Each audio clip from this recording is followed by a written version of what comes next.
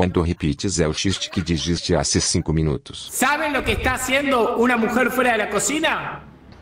cocina? Lo dijiste al principio, Gil. Turismo. Turismo. ahí, pelado boludo.